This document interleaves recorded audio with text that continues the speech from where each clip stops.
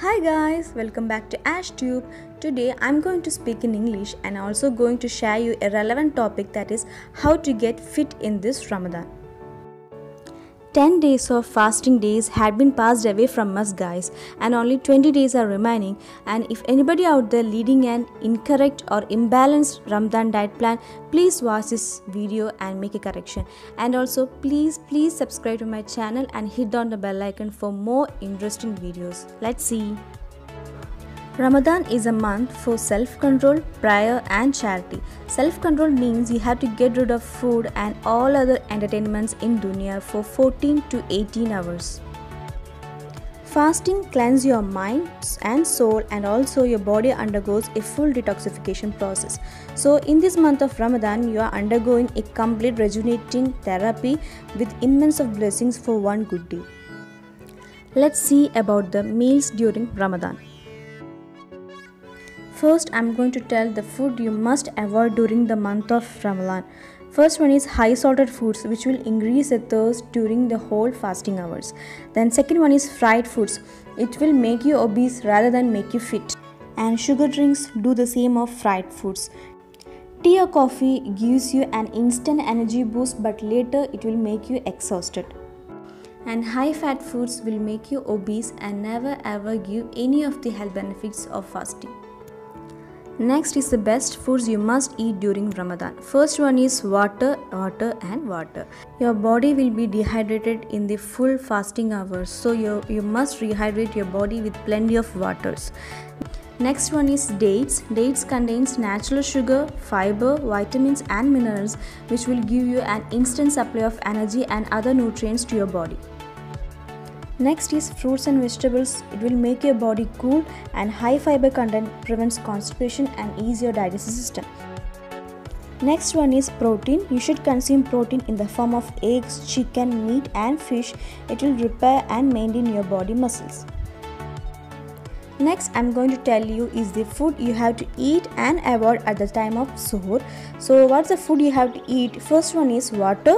The next one is oats. Oats contains the complex carbohydrates which will digest slowly and also it will release the energy slowly. So, you won't get uh, exhausted soon. The next one is protein. Then dates, fruits, then brown rice. Brown rice also contains the complex carbohydrates. You need the slow release of energy, not fast release of energy. So as much as possible, you have to intake complex carbohydrates during suhoor. And finally, yes, you have to drink a plenty of water to rehydrate your body. Next is the food you have to avoid during the time of suhoor. Uh, first one is again salt. You have to completely uh, uh, reduce the amount of salt. Uh, then next one is fried or oily foods. Then white carbohydrates like rice, pasta, bread, uh, or cakes like etc. Next is the sugary drinks like Coke, Pepsi, Frooti, and uh, other fizzy pop drinks. Then sugary foods like sweets, cakes, uh, pastries like then pasta. Uh, you have to uh, get rid of maximum you have to get rid of the white carbohydrates.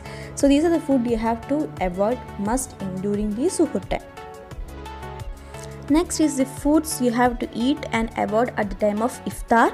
So the food you have to eat is the water. You have to drink a plenty of water to rehydrate your body.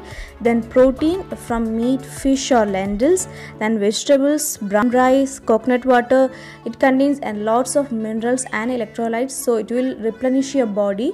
Um, then dates. Then again water then if foods you have to avoid is salt foods fried foods sugary foods or desserts then sugary drinks then high fat food like cheese cheese sauces like don't eat low calorie foods or diet foods because you're already depleted of calories. So you have to eat high caloric food uh, then only it will meet your calorie need. So avoid that. Then and also please don't overeat. It will bring you obesity eat what you need to your body don't overeat and also don't undereat next we are going to see the exercises you can do during ramadan for me, walking is the best exercise you can do during Ramadan. It is highly recommended to walk before iftar. It helps to burn fa- fat fa- in a faster rate uh, from directly the fat is deposited in our body. Walking keeps your joint lubricated and ease your walking and it also helps to build the energy levels and increase your appetite. So that's all you need to know about a safe, healthy and fit Ramadan with 5 times prayer and charity. May Allah grant us immense of blessings in this Ramadan. If you like this video, please like, share and subscribe to my channel and click on the bell icon for more interesting videos. Till then, bye bye. Happy Ramadan.